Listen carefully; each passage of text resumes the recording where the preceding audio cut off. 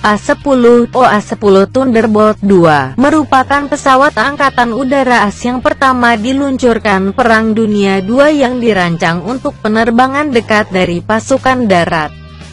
Merupakan sebuah pesawat jet sederhana, efektif dan berlapis baja sehingga lebih tahan tembak lawan pesawat-pesawat tempur lainnya, berkursi tunggal.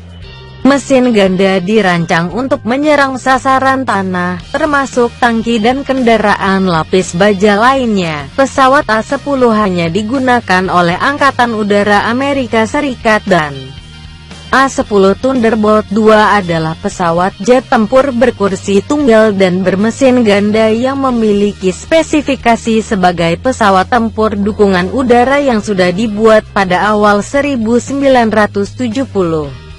Pesawat ini dibuat oleh pabrikan pesawat Fairchild Republic, perusahaan yang didirikan pada tahun 1925 dan beberapa kali berpindah pemiliknya.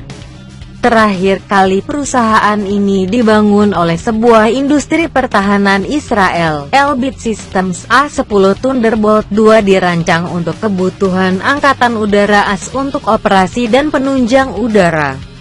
A-10 merupakan pesawat tempur pertama milik AS yang dirancang untuk penilaian udara. Pesawat ini dipersenjatai dengan meriam rotari berat GAU-8 Avenger sebagai senjata kaki.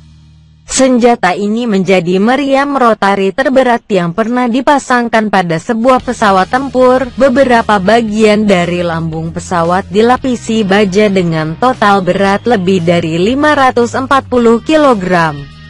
Bagian-bagian tersebut dirancang agar bisa terus berfungsi selama mungkin. Dengan syarat lapisan baja tersebut, diharapkan pesawat bisa tetap terbang rusak sudah rusak.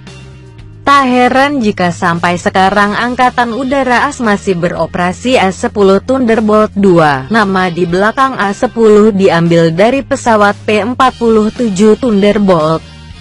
Sebuah pesawat tempur yang sangat efektif sebagai dukungan udara pada masa Perang Dunia II. Di kalangan penerbangan tempur AS, A-10 Thunderbolt terkenal dengan julukan nama Warthog atau Hawk.